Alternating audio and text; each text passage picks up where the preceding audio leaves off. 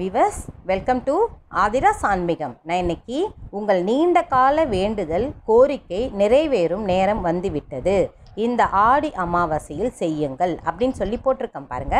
அது என்னென்னு பார்க்கலாம். வாங்க வீடியோக்குள்ளே போகலாம். வீடியோக்குள்ளே போகிறதுக்கு முன்னாடி ஆதிரா சான்மிகத்தை இது வரைக்கும் சப்ஸ்கிரைப் பண்ணலைன்னா மறக்காமல் சப்ஸ்கிரைப் பண்ணிக்கோங்க. இப்போ வந்து நீண்ட கால வேண்டுதல் அப்படின்னா ஒன்று வந்து குழந்தை பாக்கியமாக இருக்கும். இன்னொன்று வந்து திருமணம் வந்து தள்ளி போயிட்டே இருக்கும். இன்னொன்று வந்து வீடு சொந்த வீடு கட்டணும் அதில் போய் நம்ம உட்காரணுன்ற ஒரு ஒரு எண்ணம். இன்னொன்று வந்து கவர்மெண்ட் ஜாபு தொடர்ந்து பரீட்சை எழுதுகிறோமா எனக்கு கிடைக்கல அப்படின்ற ஒரு வேண்டுதல். அடுத்தது வந்து நல்ல வேலை. சரி கவர்மெண்ட் ஜாபுக்கு வேலை நம்மளுக்கு கிடைக்காதுன்ற பட்சத்தில் நல்ல வேலை. அந்த வேலையிலேயே ஒரு ப்ரமோஷன் அந்த ப்ரமோஷன் எனக்கு ரொம்ப நீண்ட நாள் நாட்களாயும் கிடைக்கல அப்படின்றது ஒன்று ஓகேங்களா? இந்த மாதிரி நிறைய விஷயங்கள் இருக்குது பணம் பற்றாக்குறை. பணம் வந்து கையில் தங்க மாட்டேங்குது. பணம் வர மாட்டேங்குது. தொழில் எவ்வளோ நாங்களும் முயற்சி பண்ணுறோம் எந்தெந்த தொழில் தொடங்குறோம் அந்த தொழில் எங்களுக்கு டவுன்லோ டவுனாக போயிட்டே இருக்குது. என்னமோ சொல்லுவாங்களாம் கா காற்றடிக்கும் போது பொறி வைக்க போனேன் புயல் அடிக்கும் போது உப்பு வைக்க போனேன்ற கதையாக சாரி புயல் காற்று மழையில் வந்து உப்பு வைக்க போனேன்னு சொல்லுவாங்க இல்லைங்களா? அந்த மாதிரி கதையாக இருக்குதுமா என் கதை அப்படின்ற மாதிரி என்னோட வேண்டுதல் வந்து நீண்ட காலாயும் எனக்கு நடக்க மாட்டேங்குது. அப்படின்றது. ஒரு வர வேண்டிய சொத்து வராமல் போகும். வர்றதுக்கு லேட் ஆகும். அது கால டயத்துக்கு நம்ம கைக்கு வந்தால் தான் அது வந்து நம்ம நம்ம எந்த வேலை செய்ய முடியுமோ அந்த வேலைக்கு. ஒரு இடத்த விற்கணும்னு நினைப்போம். அந்த இடத்த வந்து விற்க முடியாமல் அது ஒரு கடன் கடனுக்கு கஷ்டப்பட்டு ரொம்ப கஷ்டப்பட்டு இருப்போம். இந்த மாதிரி விஷயங்கள்லாம் வந்து நீண்ட கால கோரிக்கையாக இருக்கும். ரொம்ப நேரமாக அந்த கோ வேண்டுதல் வைப்போம். நடக்காது.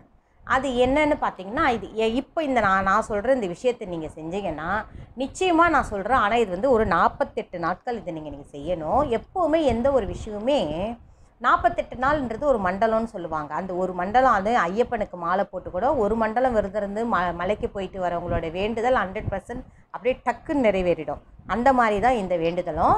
இப்போ என்னென்னு பார்த்தீங்கன்னா தினம் காலையில் இப்போ தினம்னு விட்டுருவோம். இன்றைக்கி நாலு நாலு ஞாயிற்றுக்கிழமை அமாவாசை ஆடி அமாவாசை.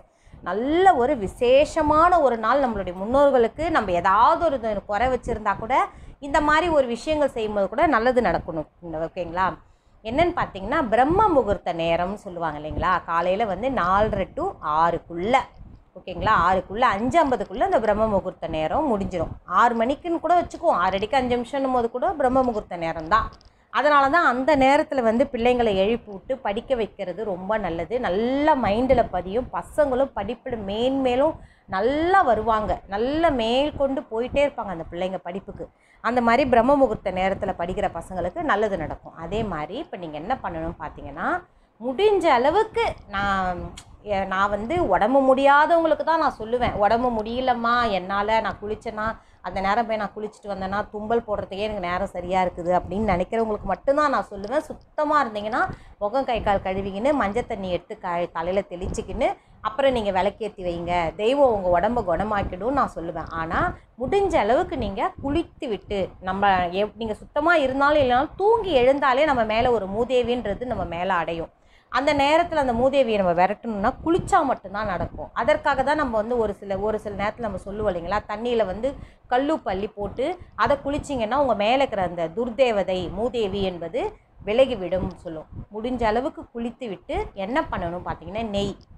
பசு நெய் கிடைச்சா ரொம்ப நல்லது. பசு நெய் எங்கள் வீட்டுக்கிட்ட கிடைக்காதுமா நீங்கள் நினைக்கிறவங்க ஆவின் நெய் வாங்கிக்கோங்க. ஆவின் நெய் எனக்கு தெரிஞ்சு ஓரளவுக்கு நல்லா இருக்குது. சாப்பாட்டுக்கும் நான் யூஸ் பண்ணியிருக்கேன் நான் தோசை இதெல்லாம் ஊற்றும் போது பொங்கல் செய்யும் போதெல்லாம் அந்த சா அந்த நெய்யை நாங்கள் யூஸ் பண்ணியிருக்கோம் அந்த நெய்யை வைத்துக்கொண்டு ரெண்டு தீபம் நெய் தீபம். காலையில் எழுந்து தெய்வத்துக்கு ஏன்னா காலையிலேருந்து நாலரை மணிக்கு நம்மளால் கோயிலுக்கு போக முடியாது. நாலரை மணின்னு நாலரைக்கு ஏற்றணும்னு அவசியம் இல்லை. நீங்கள் குளிச்சு முடிச்சுட்டு எல்லாம் பண்ணிவிட்டு விளக்கெல்லாம் ஏற்பாடு பண்ணிவிட்டு விளக்கு ஏற்றி வச்சுட்டு நம்மளுடைய காமாட்சி விளக்கு கஜலட்சுமி விளக்கு எது இருந்தாலும் உங்கள் வீட்டில் குபேர விளக்கு என்ன ஏற்றுறீங்களோ அதெல்லாம் ஏற்றி வச்சுட்டு ரெண்டு விளக்கு உங்கள் கோரிக்கைக்காக உங்களுடைய வேண்டுதல் நிறைவேறணுன்ற ஒரு காரணத்துக்காக அந்த ரெண்டு விளக்கு தனியாக ஒரு தட்டு வச்சுக்கோங்க.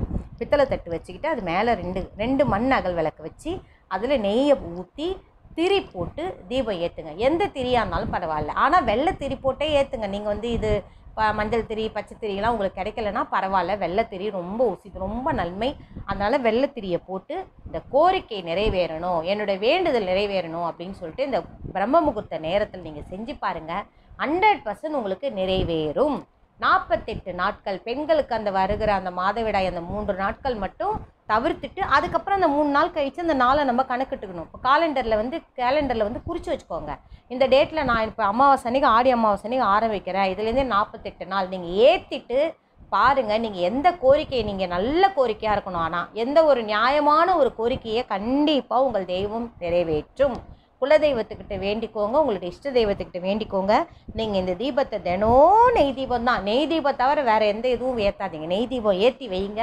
நிச்சயமாக நடக்கும். சரி சப்போஸ் நெய் வாங்க முடியாதவங்க. என்னால் அவ்வளோ நெய் வாங்க முடியாதுமான்னு நினைக்கிறவங்க நல்லெண்ணெய் ஊற்றி அந்த தீபத்தை ஏற்றி வைங்க. இந்த கோரிக்கைக்காக எந்த வேண்டுதல் நீங்கள் வச்சுக்கிறீங்களோ அந்த வேண்டுதல் ஹண்ட்ரட் பர்சன்ட் நிறைவேறும்.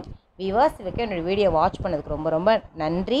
நான் இன் எனக்கு நல்ல ஆதரவு கொடுத்துட்டு வரீங்க. அதுக்கு நான் நன்றியை தெரிவிச்சுக்கிறேன். நான் இன்னொரு வீடியோவோடு நான் உங்களை மீட் பண்ணுறேன்